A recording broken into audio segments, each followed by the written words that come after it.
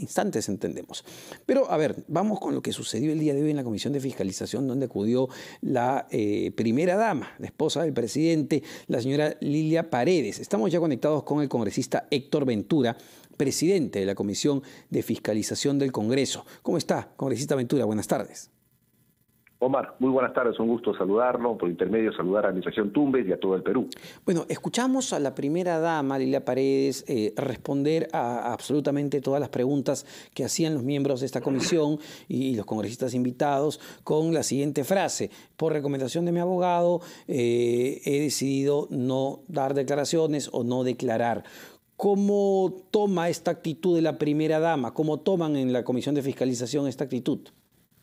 Bueno, una actitud eh, eh, poco tolerante, poco transparente, lo que eh, hubiera sido ideal es de que la primera dama pueda esclarecer y pueda manifestarnos los hechos ciertos respecto a esta contratación que se ha tenido con la empresa JJ Espino, donde la hermana de la propia primera dama, es decir, la hija, como la tratan, la trata el presidente y la primera dama, es que ha estado haciendo referencia de las obras ganadas en Cajamarca. Eso es totalmente irregular, porque se trata de la, de la, de la, del presidente de la República, de los familiares directos del presidente de la República. Si antes ya veíamos eh, eh, indicios, evidencias de presuntos actos de corrupción por parte del sobrino del presidente, hoy estaríamos ante una presunta organización criminal familiar donde podían eh, se estaría dando la, evidencia de participación de parte de la primera dama, la esposa del presidente, la, la, hija del presidente, inclusive han estado utilizando el teléfono de Arnold Castillo, que es el hijo del presidente de la República. El, el suegro del presidente de la República ha viajado al interior del país en varias oportunidades con plata o con dinero pagado por Samir Villaverde.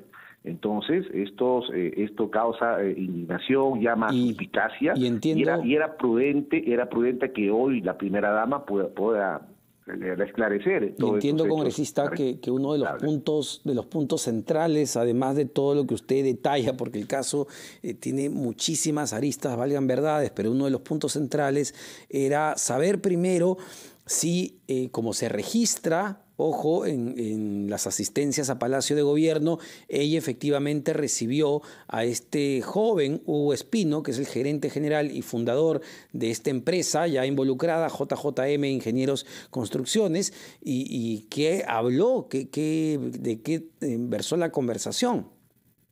Claro, era, era justamente hoy oportuno de que la primera dama pueda responder eh, por qué ha recibido en más de, eh, tres oportunidades, creo que hasta en cinco oportunidades, a Hugo Espino, gerente general de JJ Espino, qué temas habrían conversado en las veces que ha entrado este empresario al Palacio de Gobierno y curiosamente este empresario luego de esas reuniones gana licitaciones en Cajamarca o gana licitaciones justas. Es más, la hermana de Hugo Espino, Angie Espino, también gana licitaciones en Cajamarca. Y lo curioso es de que una vez que se ha estado investigando estas obras eh, ganadas eh, por parte de JJ Espino, algunas están inconclusas. Entonces era prudente, era necesario conocer hoy por parte de la primera dama y nos, nos diga, ¿no? ¿Qué temas, qué, qué, qué acciones han tratado, qué, qué, qué, eh, qué comentarios habían tratado en, en, en Palacio Gobierno pero eh, la, primera dama ha preferido eh, guardar silencio. Por supuesto que está en, su, está en todo su derecho constitucional, pero más allá de eso era importante que la primera dama eh, muestre esa actitud transparente que como primera dama merece todo el país. Ahora, congresista Ventura, entiendo que también hoy había sido citada la implicada directa, que es la cuñada del presidente, hermana de la primera dama, Jennifer, la señorita Jennifer Paredes. Ella, esto se ha hecho público, eh, envía una carta dirigida a su persona, entiendo, donde le dice eh, que ustedes no la, han, no la han citado como es debido y que por favor la citen a su domicilio real, ojo, lo leo, domicilio real en el caserío de Chugur, distrito de Anguía, provincia de Chota, en el departamento de Cajamarca.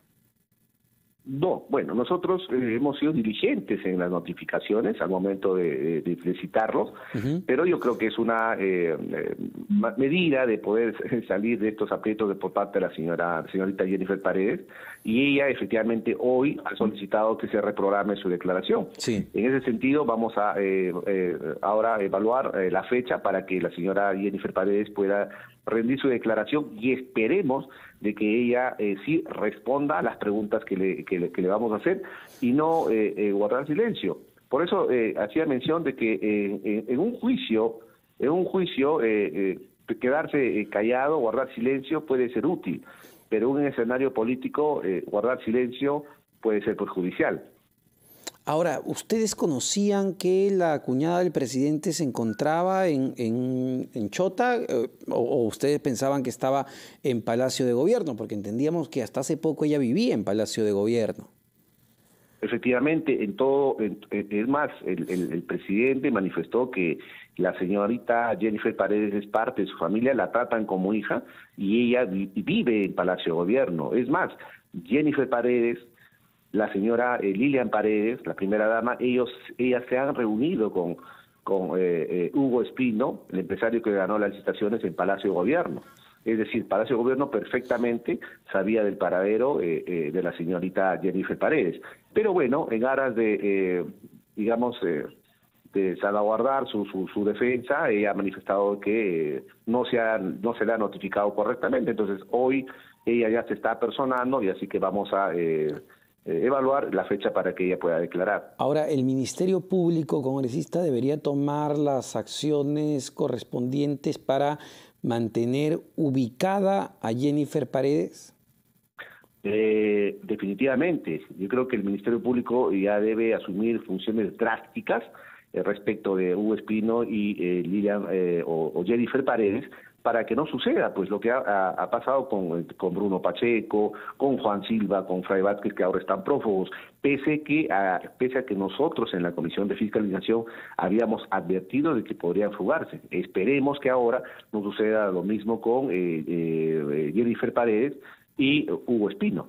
Solo, solo para terminar, congresista, ¿se volverá a citar a la primera dama o ya, digamos, con esta actitud simplemente pues no, no tiene caso?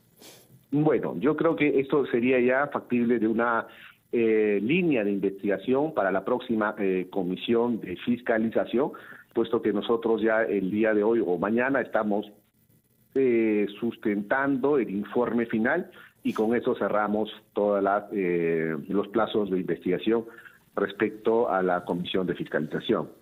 Perfecto. Muchísimas gracias, congresista Ventura. Héctor Ventura, presidente de la Comisión de Fiscalización del Congreso de la República, sobre este caso que vincula, impacta directamente al círculo más cercano del presidente Pedro Castillo, como es su familia directa. 12 y 29, vamos rápido.